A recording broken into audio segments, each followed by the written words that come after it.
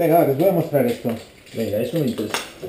Esto, esto es un mosquetón que se utiliza en náutica para, para dejar ir las velas cuando viene mala mar o temporal y pues es una manera rápida de...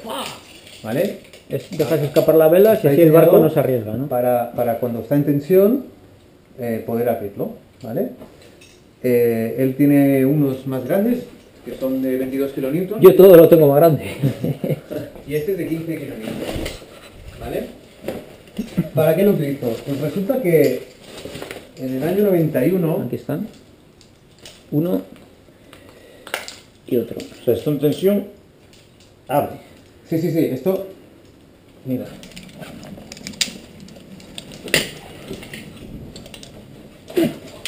Tú y yo estamos, hace un poco de tensión y ahora aquí tendríamos un cabito, un, Un mosquetón. tiramos aquí y aunque aquí haya mogollón de peso. Sí. ¿vale? Es para, Sí, sí, para, sí, para desbloquear, ¿vale? Y para pegarlo hay que crear también tensión o ya no es necesario. Tiene este pasador. A ver si este mosquetón. Lo único que en, en, esta, en esta mira de 22 kilonewtons, bueno, pues el, el, La anilla. el anilla Es muy frágil, ¿no? Para lo que No, es. la de 22 kilómetros aún, pero la, la de 1500, o sea, la de 15 kilómetros te viene de origen. Con Ah, ¿qué, qué no es con esta? la- Yo, yo ya la he variado. Sí. Es verdad, esta no es la más. Esta es, es otra que he variado yo. Vale. ¿Por qué? Porque me encontraba que si tiras muy fuerte, pum, desafías la anilla, porque al ser de inox, el inox es muy, muy maleable. ¿no? Flexible. Vale. En el año 91-92, con un compañero fuimos a hacer una escalada en, en, en Ordesa, la Rabadá Navarro, del Gallinero, que es una vía de, creo que son 400 metros y, y es, bueno, eh, desequipada, de cierta dificultad, en artificial, artificial, quiere decir que vas colocando piezas para progresión, no, Sí. no para asegurarte. Las chapas en las vías de escalada están no para que las cojas normalmente, sino para si te caes. Pero en artificial, pues tú vas poniendo piezas eh, que a lo mejor aguantan 200 kilos solamente, no, no, no una caída, pero progresión. Bueno, es un- llena de desplomes. Bueno, pues cuando nos faltaban dos largos para llegar arriba, eh, bueno, era un poco tarde, estaba ya a punto de oscurecer y, y el chaval era un chaval muy nervioso, era un chaval que fumaba mucho, fumaba mucho, marihuana. mucha marihuana y, y cuando estaba no, pero bueno, estaba como muy, muy, muy nervioso, ¿no? Le costaba mucho controlarse. Y se puso nervioso y, y que quería bajar, que quería bajar, y a ver, que quiero bajar, que vamos, se nos hace eso. Y bueno, tío, no pasa nada, tío, que frontal, que los putos largos, sabemos que ahí va. Bueno, totalmente bloqueado. que no, que no, que no. Paranoia, vamos. Paranoia. En medio de la escalada. Sí, en una reunión, sí. Sí, sí. Y que yo abajo digo, pero ¿cómo vas a sacar esta puta vía? Si esta vía está llena de diagonales, eh, llena de desplomes, no, no, no hay una línea de rappel, porque que tú rapelas llega un momento que te quedas alejo- alejado de la pared y, y- y no puedes instalar el siguiente rappel, Apa- aparte de que tienes que abandonar material. Una, una vía o tiene anillas en las reuniones, o si no, tú tienes que, si hay, si hay, si hay parabots, si hay chapas, pues bueno, metes ahí una cinta y, y- y puedes rapelar, pero si no hay nada, porque la reunión la has montado tú, o porque estás en otra línea que no es la vía, porque, porque una cosa es que tú vayas subiendo, ahora una diagonal, un flanqueo, vas subiendo, pero si tú eliges la vertical que sea en una vía tan sinuosa, pues llegará un momento que estás fuera de la vía, por lo tanto, si quieres seguir rapeando tendrás que abandonar material tuyo. Vale, total. Pero no, que déjame bajar, que no sé qué, tal. Bueno, hicimos, no sé, unos cuantos rappels, algunos abandonando material, algunos pues de algún arbolito y tal, pero abandonando friends, que cada friend vale 50 bracos, ¿eh? ¿Qué dices, tío? Sí, sí, sí, sí, una Hay que locura. bajar O sea, este una, final, o sea, no manera- histérico, no, no, histérico. Total, que... Ya sabes con quién no vuelves, ¿no? A escalar. No, no. Al menos allí. Sí que volviste. No, ese estuve en el Alien, ¿eh? Pero... No, luego la cara al cabo no. de unos años se calmó y, y dejó bastante el, el chocolate, pero... Bueno, estamos total, estamos a 120 metros del suelo, ¿vale? Un desplome de la hostia.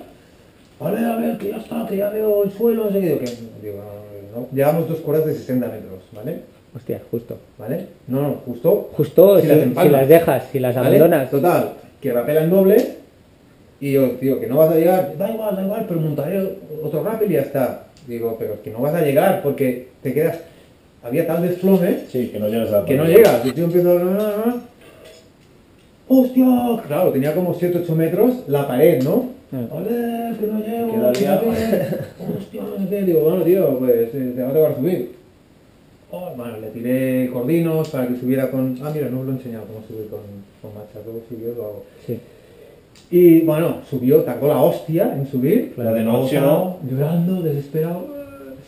Total, que bueno, al final cogí yo, empalmé las dos cuerdas, rapelamos, eh, rapelé, yo primero, sí, yo primero, tienes que saltar el nudo, porque hay el nudo, Fraccionamiento se llama. un fraccionamiento y, y tal. Y luego bajó él, pero con la mala hostia que... ¿qué Se quedó pasó? bloqueado. ¿Qué le pasó? Se le, se le enganchó algo, se le enganchó algo.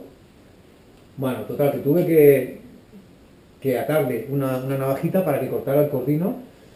Se le enganchó un cordino en el 8, ¿vale? Digo, hostia, sobre todo Oscar.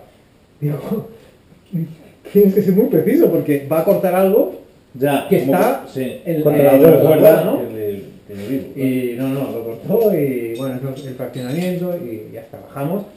Y claro, eh, abandonamos las, o sea, aparte del material que perdimos, abandonamos las cuerdas. No quería ya saber nada. No, no, no. No, es que no podía no, no, recuperar. no recuperar. O sea, eh, Tienes 120 Claro, metros cuerda- de que, claro, o sea, dos cuerdas de con la 60, tienes que bajar 120 metros, la única manera es, ah, pero se le ocurre una manera de recuperarlo ¿no? para otra vez, ¿no? Claro, entonces yo empecé, empecé a pensar para otra vez, hostia, joder, tengo que encontrar un sistema. Ya sabes cómo lo hicieron en El Señor de los Anillos, ¿no? Bueno, hay varios sistemas, o bien coges una Con, mochila. con una cuerda élfica. Ah, bueno. La cuerda élfica haces así y pum, se te cae. Hostia, ¿No lo viste? hagas así cuando estés No, no, ya- no, no, no, a ver, tú bajas cuando ya estás abajo le dices, qué pena, y pum, se te cae. La Sí, recuperas.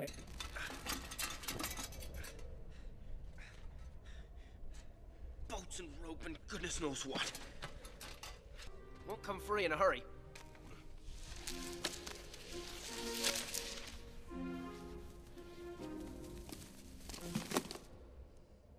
Real elvish rope.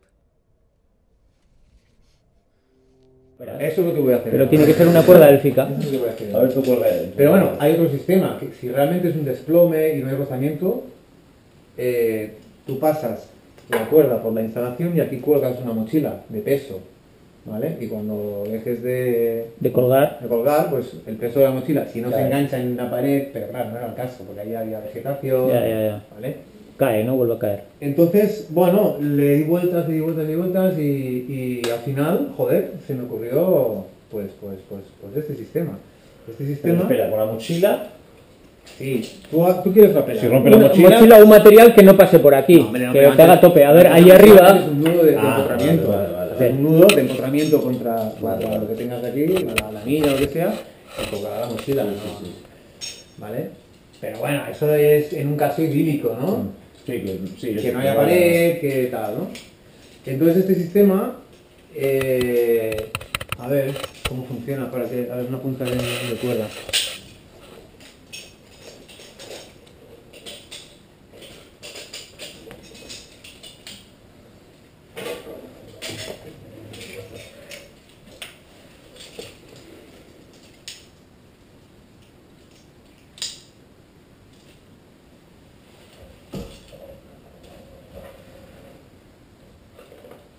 Bueno, aquí tenemos la, la instalación para rapelar, la chapa, la, lo que sea, ¿no? sí. Entonces, esto es una goma elástica que de vez en cuando se tiene que ir cambiando porque, porque pierde la elasticidad, como, como hemos aprendido con los elásticos. Y es una goma que me cuesta encontrar, ¿eh? Entonces, nada, hacemos aquí una alondra, Sí. ¿vale? Ahora, la pasamos por aquí y aquí hacemos un nudo de tope.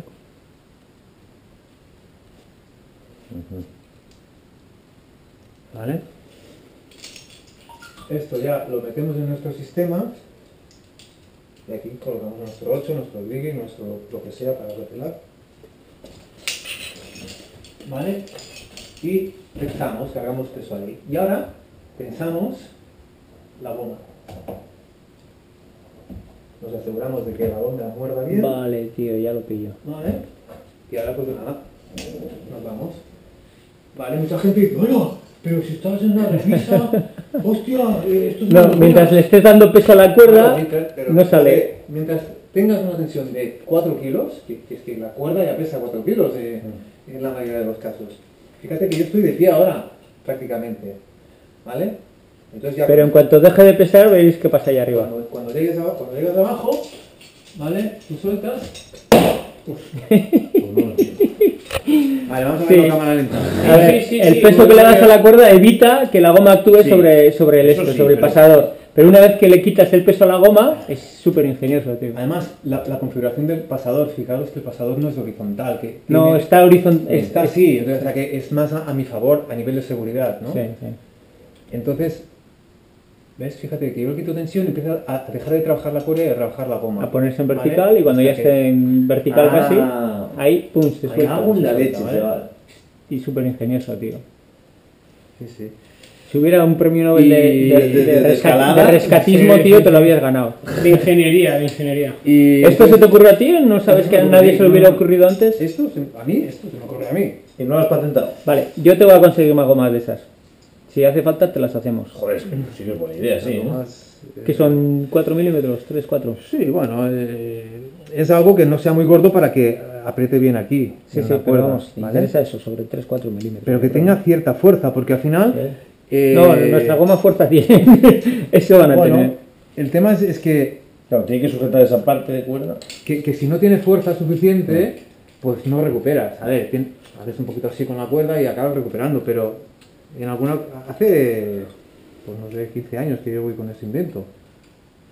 Más o menos. Pero Y- bueno, y al entiendo que esto- si tienes una cuerda suficientemente larga para pasarla dos veces, ya está. Sí, sí, sí, sí. Eso es- está claro. Yo al principio utilizaba esto, so- solamente lo llevaba en el arnés como emergencia.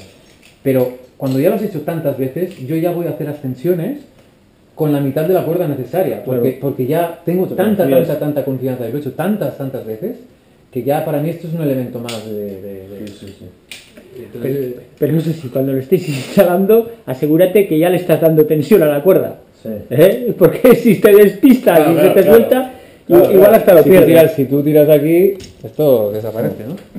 Entonces la goma, pues bueno, tiene que hacer, cuanto más fuerza en este diámetro haga, pues, pues mejor, y que, pero que tenga también recorrido. Claro. Porque hay gomas que Ya tienen fuerza pero no tienen recorrido, tranquilo, ¿sabes? tranquilo. Nuestras gomas tienen fuerza y recorrido.